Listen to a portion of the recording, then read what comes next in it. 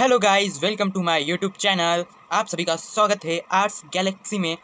तो आज हम करने वाले हैं वाले हैं शेडेड।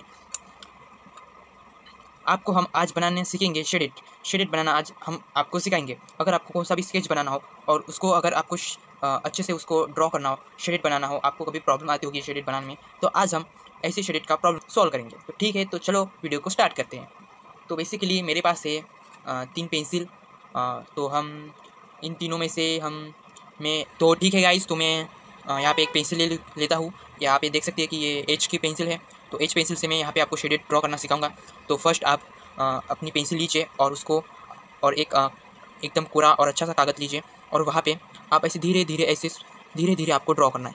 बिल्कुल धीरे धीरे आपको बिल्कुल भी फास्ट नहीं, बिल्कुल भी कोई कोई ऐसे ऐसे ड्रॉ करते हैं पूरी गलत चीज़ है। आपको धीरे धीरे ड्रॉ करना चाहिए और याद रखिए कि कभी भी यहाँ पे नहीं पकड़ना चाहिए। हमें कभी भी यहाँ पे पकड़ना चाहिए। हमको पास पकड़ना चाहिए, ज़्यादा भी पास नहीं, यहाँ पे पकड़ना चाहिए। तो यहाँ पे हम, यहाँ पे धीरे धीरे यहाँ पे ऐसे हम ड्रॉ करते हैं।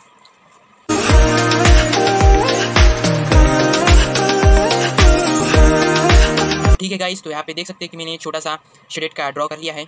तो हम तो आपको ऐसे ही एक पेंसिल से ऐसे धीरे धीरे ड्रॉ करना है और उसके बाद अगर आपके, और उसके बाद आपको अगर अच्छे से इसको फैलाना है तो आप ब्रश का उपयोग कर सकते हैं। अगर आपके पास शेडेड को इसको फैलाने के लिए आपके पास वो ब्रश ना हो तो आप क्या कीजिए, ये जो आपके घर में जो कापूस होगा, जो कापूस होगा, वो लीजिए और उससे आप इसे आसानी से फैला सकते हैं।